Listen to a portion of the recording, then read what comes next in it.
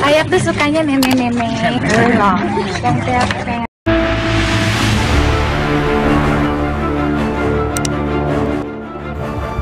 Terciduk tak sopan Sahrini pada si nenek nenek peot hingga dihujat netizen.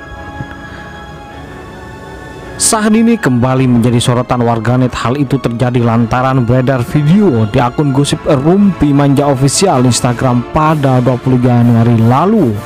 Dalam unggahan tersebut, sang pelantun cintaku kandas itu tampak dengan gaya khasnya yang glamor mengenakan busana berwarna putih lengkap dengan topi lebar dan kacamata hitam. Ia menghampiri seorang nenek tua.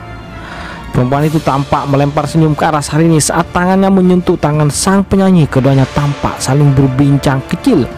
Setelah pertemuan singkat itu, Sahrini kemudian berlalu dari sang perempuan tua. Ia berjalan ke arah kameramen yang menyorotinya seraya berbicara.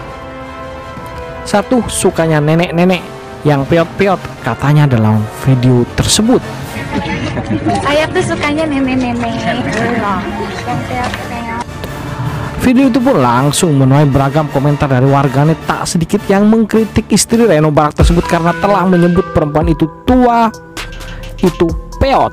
Ya Tuhan, kok ngomongnya peot-peot? Kasihan si nenek jadi bahan pencitraan, Mbok ya dikasih duit kayak komentar seorang warganet.